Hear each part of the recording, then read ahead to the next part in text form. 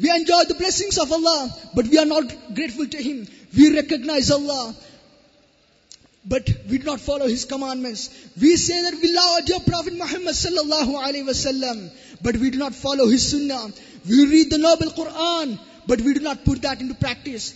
We all want to enter Jannah, that is heaven, but we do not prepare for that. We do not want to fall into the hellfire, but we do not run away from it. We proclaim shaitan, that is Satan is an open enemy, but we do not fight against him. We know all living beings face death, but we do not prepare for it. We find fault with others, but we forget our own blemishes and shortcomings. We bury the dead, but we do not learn lessons from that. We say one thing and act in a different manner. So it's time to review ourselves. Oh my dear brothers and sisters, it's time to review ourselves.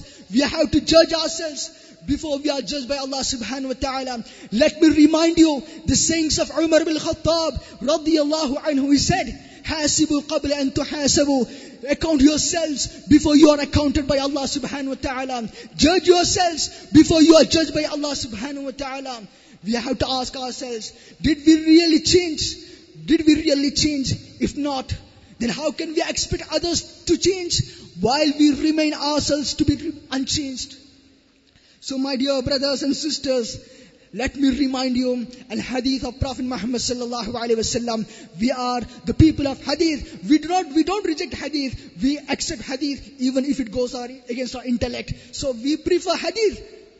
So we are the people of hadith. So let me remind you the hadith of Prophet Muhammad sallallahu alaihi wasallam, which is recorded in, in Mustadrak Hakim, hadith number 7846, which is authenticated as Sahih by Sheikh Albani, rahmatullahi alayh, in Sahih al-Jami'. Prophet said, اغتنم خمسا قبل خمس شبابك قبل حرمك وصحتك قبل سقمك وغناءك قبل فقرك وفراغك قبل شغلك وحياتك قبل موتك Take advantage of five things before five other things comes unto you.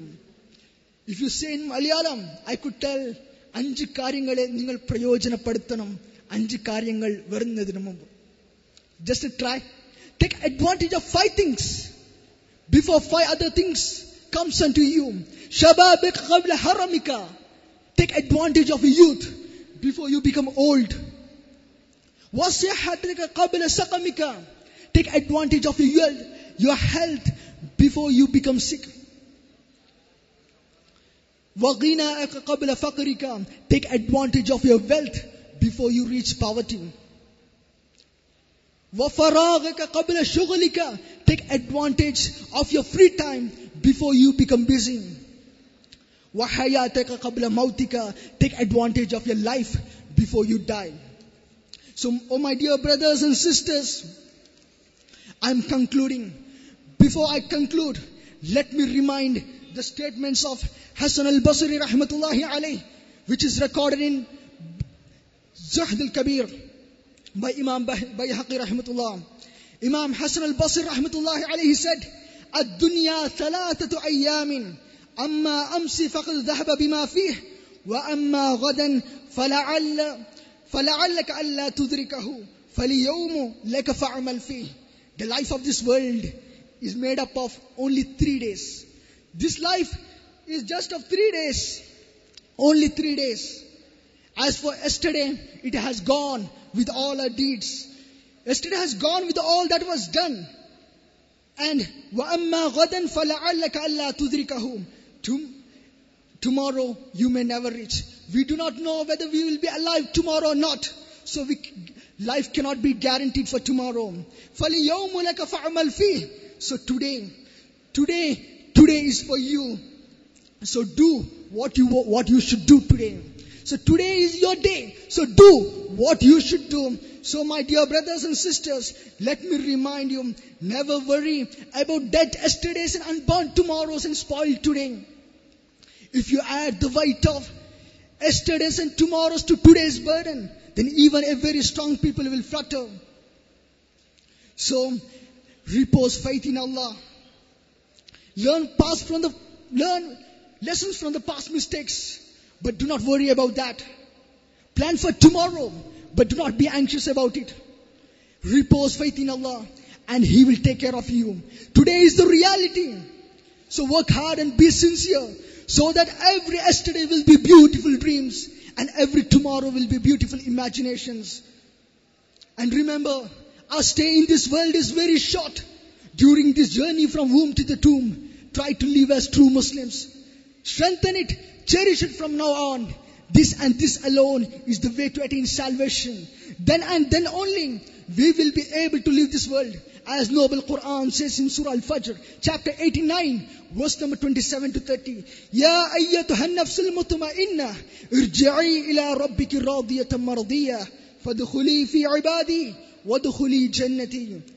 O reassured soul, O reassured soul, return to your Lord with well-pleasing and pleased to Him. And enter among my servants and enter among my, enter my Jannah, my paradise. May Allah subhanahu wa ta'ala bless all of us and our families to enter Jannah. Ameen. وأقول قولي هذا وأستغفر الله لي ولكم ولجميع المسلمين من كل ذنب فاستغفروه إنه هو الغفور الرحيم. السلام عليكم ورحمة الله وبركاته.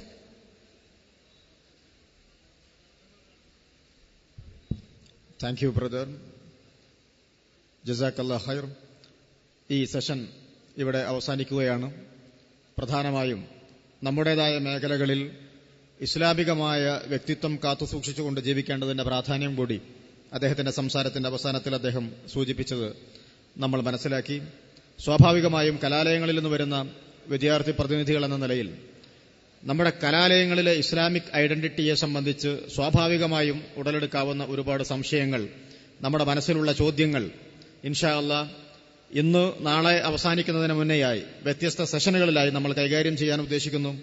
പ്രത്യേകിച്ചും വസ്ത്രധാരണത്തെ സംബന്ധിച്ച് നമ്മുടെ സഹവാസത്തെ സംബന്ധിച്ച് കലാലയങ്ങളിൽ സ്വാഭാവികമായും നമ്മുടെ ആഘോഷങ്ങൾ Valentine's day new year day തുടങ്ങിയ ആഘോഷങ്ങളെ സംബന്ധിച്ച് സ്വാഭാവികമായി നമ്മുടെ കലാലയങ്ങളുമായി ബന്ധപ്പെട്ട് ജീവിക്കുമ്പോൾ ഒരു ഇസ്ലാമിക സാഹചര്യത്തിൽ ജീവിക്കണമെന്ന് ഉദ്ദേശിക്കുന്ന ഒരു വിദ്യാർത്ഥിയെ സംബന്ധിച്ചിടത്തോളം ഉടലെടുക്കുന്ന സംശയങ്ങൾ നിങ്ങൾക്ക് ചോദ്യരൂപത്തിൽ ഇപ്പോൾ തന്നെ തയ്യാറാക്കി തുടങ്ങാവുന്നതാണ്. ഇൻഷാ അള്ളാ മകരുവിന് ശേഷം മുതൽ നാളെ അവസാനിക്കുന്നതിന് മുന്നേയായുള്ള വ്യത്യസ്തങ്ങളായ സന്ദർഭങ്ങളിൽ അത്തരം നിങ്ങളുടെ സംശയങ്ങൾക്ക് ഇൻഷാ അള്ളാ പ്രഗത്ഭരായ നമ്മുടെ പണ്ഡിതന്മാർ മറുപടി നൽകുന്നതായിരിക്കുമെന്ന് സൂചിപ്പിക്കുകയാണ്. മകരുവിന് ശേഷം ബഹുമാന്യനായ സുപ്രസിദ്ധ ഇസ്ലാമിക പണ്ഡിതൻ സെയ്ദ് പട്ടേൽ നയിക്കുന്ന പ്രമുഖമായ പ്രഭാഷണമുണ്ടാവും അതിനുശേഷം ഒരു ഓപ്പൺ ഫോറമാണ് ഉദ്ദേശിക്കുന്നത് പ്രധാനമായും.